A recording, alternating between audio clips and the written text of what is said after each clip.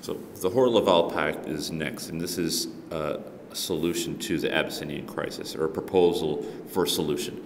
Um, and it's named after these guys. So we have Samuel Hoare, who was a British foreign minister at the time, and then we have the French prime minister, who's named Pierre Laval.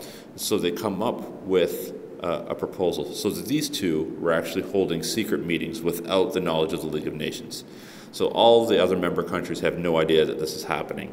They come up with a proposal and they want to show it to Mussolini first.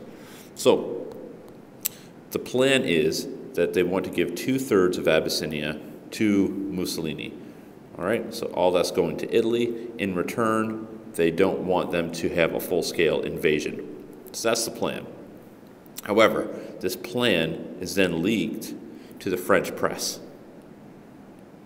So the newspaper. And so the newspapers start carrying this Hoare-Laval Pact. All the other member states of the League of Nations find out about it. The leader of Abyssinia finds out about it. He says, I demand the League to debate this issue because basically they're giving away his land and they didn't even consult him. So the French citizens and the British citizens are upset with this and they lose faith in their governments. So, sanction talk loses all momentum. The League of Nations are now dealing with this crisis. In the meantime, Italy is launching their invasion. The U.S. increases its exports of, Italy, uh, of oil to Mussolini and Italy, and now Mussolini, because the League of Nations is distracted, they still have trade with the United States. He's able to get both empire and oil. On March 7, 1936, Hitler sees all this happening and says, Now is our chance. Hitler invades the Rhineland, and this goes against the Treaty of Versailles. But again, the League of Nations are dealing with all of these crises, and they're not able to deal with them effectively. France argues that we need Mussolini to help us against Hitler. Let's just give him Abyssinia.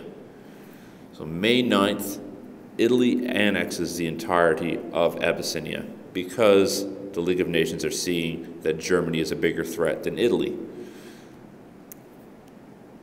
Haile Selassie, the person ruling Ethiopia, is sent into exile.